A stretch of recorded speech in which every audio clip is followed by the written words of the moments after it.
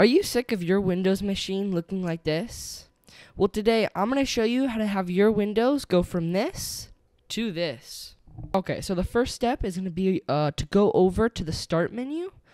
So, and then you're going to want to go into Settings. So when you're in Settings, you want to go over to Personalization. Then from here, you're going to go over to Colors. And in here, you're going to uh, come over to Choose Your Mode. We're going to change it to dark for my case. Um, if you want to keep it on light, that's fine, but uh, I'm just going to use dark for this tutorial. Um, I recommend putting transparency effects on. So when it's on, it kind of you can see the taskbar. This is what it looks like off. I like it on a little bit more, but you can you can mess with these settings. Accent color, I'm gonna turn it on to manual. And basically, what the accent color does is we're gonna change it to like yellow, and we can just and we can just type up uh, something random and you can see all of these little icons they're all yellow. So you want to change this? So in this uh, in this tutorial I'm gonna change it to red. So it's gonna look like this. But mostly all four of these settings you're just gonna want to change um, to your personal preference.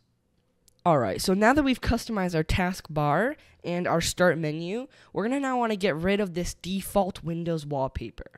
So in able to do that, we're going to want to download a wallpaper engine. I'm going to link it in the description. I believe it does cost about like $5, but I promise you in the uh, in the end it's going to be 100% worth it. So once you have wallpaper um, engine installed and open, we're going to want to uh, customize some settings in here. So these settings are going to be to optimize your PC. So go over here up to the settings.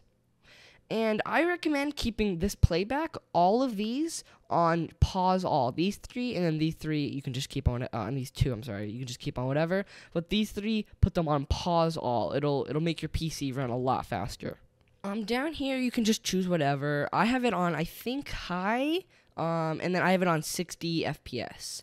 So, and then reflections on, but you can just change that. Uh, and then you're going to want to make sure you turn on Start with Windows. This will, every time you uh, turn on your PC, it'll open up automatically and you won't have to do anything. So the nice thing about Wallpaper Engine, if you come over here to Workshop, you can just type in a color. So um, I'm going to be using purple.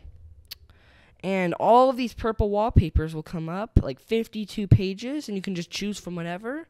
Um, in this tutorial, I'm going to be using, uh, where is it? Purple Minimalistic. And this is what it looks like. So you can just press OK. This is what it looks like. Alright, so when you find the wallpaper you like, we're going to have one last step. So all these ugly icons on the left, we're going to want to get rid of those. I think it makes it look a lot better and a lot more minimalistic. So to get rid of them, you're going to want to right click on your desktop. It's very simple. You just press view and then show uh, desktop icons. You just want to click that and then all of them will go away. Alright, so that's going to wrap up this video. Um, I hope you guys all enjoyed it. Um, if you guys have any questions, feel free to let me know in the, uh, in the comments. I'll be sure to get back to you guys, and peace out.